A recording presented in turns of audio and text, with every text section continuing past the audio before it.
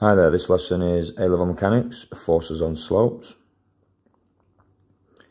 So the objectives are to learn how to identify and calculate parallel and normal reaction forces acting on an object on a slope. And then we're going to solve some more complex slope problems.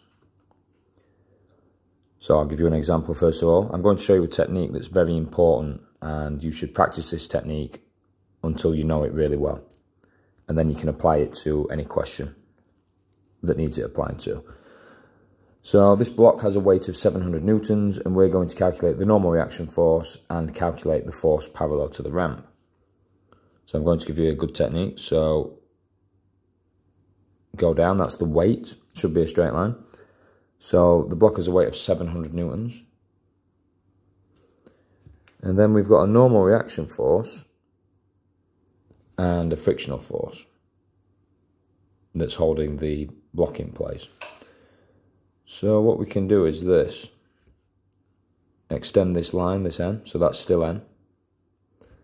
And basically close this triangle off. And because this line, this dashed line that I've just drawn is parallel with the F, that's okay. It's like we've transposed it and moved it in to complete the triangle. I'll show you what this means. So that's a right angle. So 700 is our hypotenuse. This angle is 30 degrees, which means this angle is 90, which means this angle I'm drawing now is the 60 degrees. Just get rid of those. So consequently, this angle is 30. And in future, this angle that I've just drawn in is always equivalent to the angle that you're given. So now we can find the normal reaction force. So that would be the 700, the magnitude, multiplied by, and because n is adjacent to the angle, it's cos 30. And then the frictional force F is opposite the angle, so that would be 700 sine 30. Put those in your calculator. And we get 606 newtons. And 350 newtons. Feel free to practice that one again. I've got another example on the next page which we can look at now.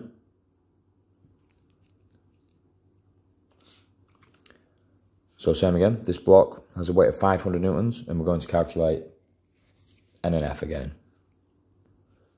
So weight comes from the centre of the block, 500 newtons. So I know that that's N and that's F. And this angle is 40 degrees.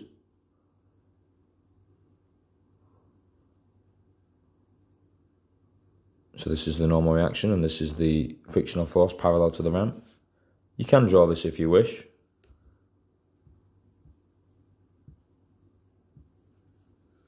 But once you once you've got the technique, you don't really need to. So calculate the normal reaction. So the normal reaction would be the magnitude, 500, multiplied by cos 40. And the frictional force is 500, and it's opposite the angle, so it's sine 40. If you're confused as to why the cos and sine work like this, this is how we're figuring out the, the components, then please go back and watch my video on resolving vectors.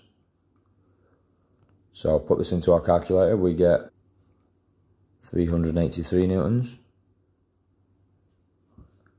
and 321 newtons. Hopefully that's okay. If you need to practice, feel free to do it again.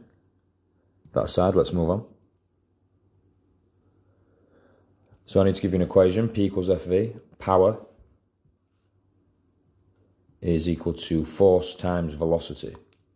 If you already know this, that's great. If not, power is measured in watts or joules per second. Force is obviously in newtons and velocity is meters per second. So we're going to use this equation on the next question, plus what we've just talked about. So let's move on. If you want to have a go at this, please do. Just pause the video So this car generates a useful power of 8.2 times 10 to the 4 watts. We've got the car's mass, and we know that it's travelling at a steady speed up the ramp. And we need to use P equals FV, but to use F, we need to know the force that's parallel to the ramp. So we need to use the technique we've just learned. So the weight acts down. So the mass of this car is 1,050 kilograms. So we need to multiply that by 9.81 to give us the weight, which is 10,300.5 newtons. And we need the component parallel to the ramp. So we want this one that I've just drawn, this one. So this angle is the same. So to get the component parallel to the ramp, we just do the 10,300.5 multiplied by sine of 18. So that gives us a force of 3,183 newtons. So when we use our equation, P equals FV, that's our force. P equals FV. So the velocity is the power 8.2 times 10 to the 4 divided by the force, which is, sorry, 3183. Put that in your calculator and you'll get 25.8 meters per second, which rounds to 26, which is actually very fast. Right, let's move on.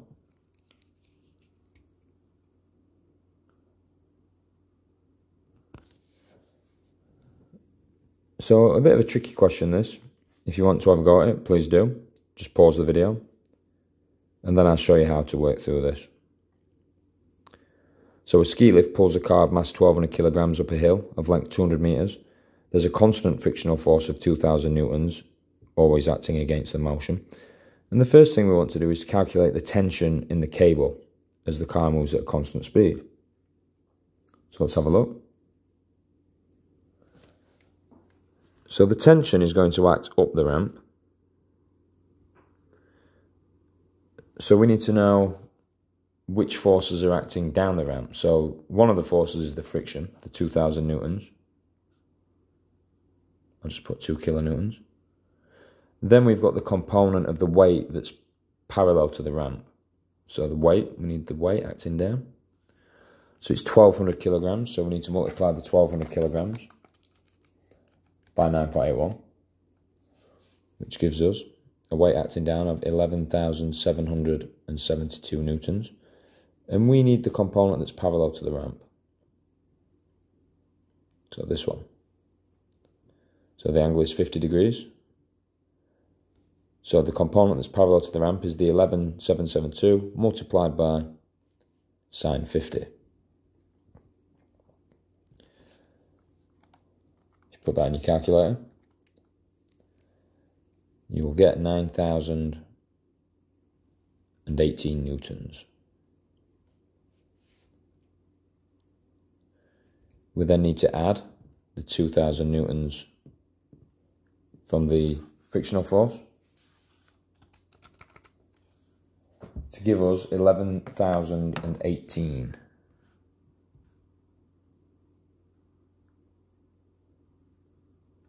Newtons. So that's the force acting down the ramp. Because the ski lift, the car, is travelling at a constant speed, the tension will be equal and opposite. So that, consequently, is the tension in the cable. Right, let's have a look at the next one. So as the car reaches the top of the hill, the cable snaps the frictional force of 2,000 newtons is still applicable. Calculate the acceleration. So to do acceleration, we need force over mass.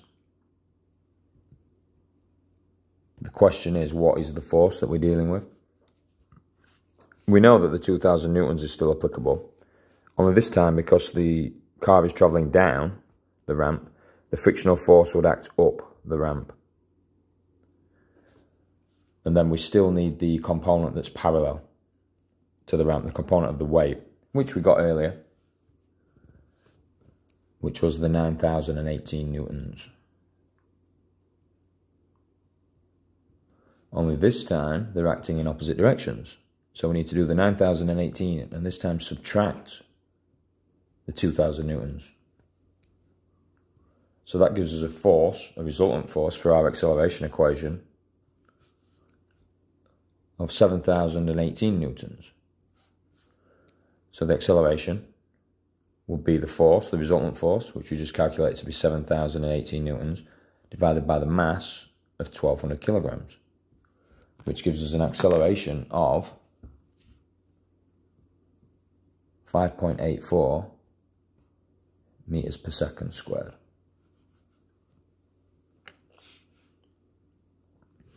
Okay, let's see what's next.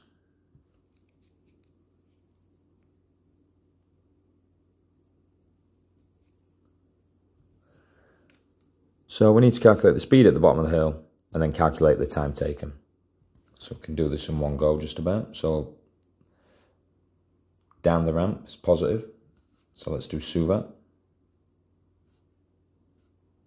If you're not sure on this, I've got a video on project the basics of projectile motion, the equations of constant acceleration, and there's a video on more complex problems. So the displacement down the ramp is 200 meters. The initial speed down the ramp when the when the cable snaps is zero. The final speed, v, and the acceleration is the 5.84 meters per second squared. And we also need time, so I'll just pop a t there as well. So we need an equation without without t to get v, so that would be v squared is equal to u squared plus 2as. And if we put our numbers in, so v is equal to the square root of, now u is 0, so that goes. So it's the square root of 2 times a times s. So 2 times acceleration, 5.84, multiplied by the distance, 200 metres, gives us a frighteningly fast velocity of 48 metres per second, rounded up to two significant figures. Then we can do time using s equals ut plus half at squared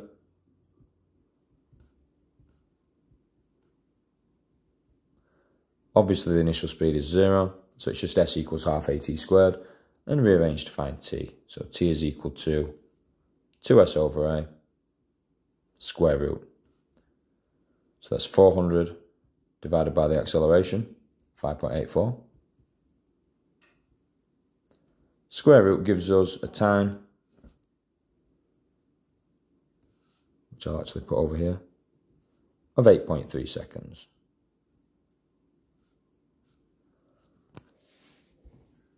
If you want to do any of the problems again, just rewatch the video, rewind, pause, attempt, and then you can check your answers against the solutions. Okay, thanks for listening. Take care. Bye-bye.